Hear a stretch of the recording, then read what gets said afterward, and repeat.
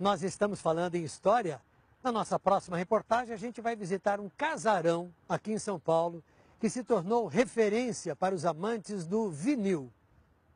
Um sobrado erguido na década de 40 na Moca.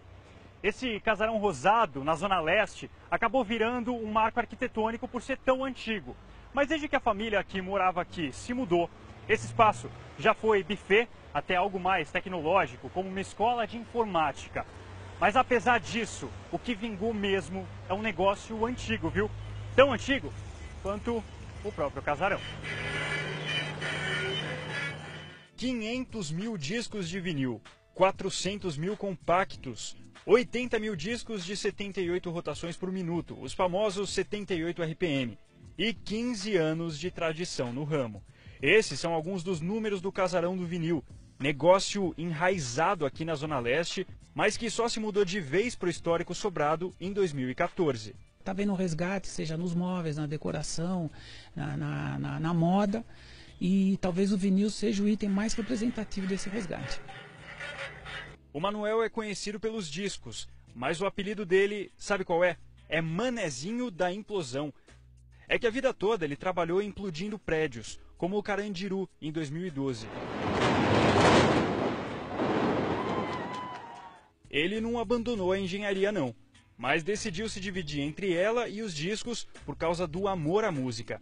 Ah, e não dá para esquecer dos cachorros, hein? Os filhos que ele ama tanto quanto o sobrado.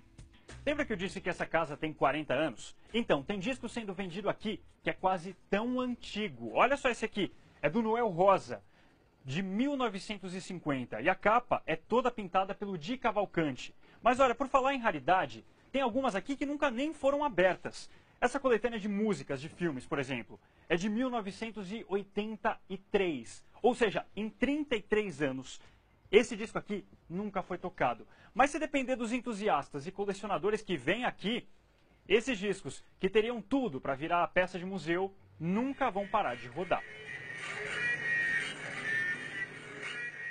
O seu Francisco passou a manhã toda vendo discos. E detalhe, foi a terceira vez em sete dias que ele veio para cá. Chegando aqui, achei outras coisas que também me interessava, que é mais o lado do nacional, que eu não tenho muito nacionais, né? Eu gosto mais é só da, da Jovem Guarda mesmo. Mais para coleção, por exemplo, do Roberto, do Erasmo. Tem coisas do Roberto que a gente não conhece. Acabou saindo daqui com quatro discos a mais e 700 reais a menos. Tudo pelo amor à coleção.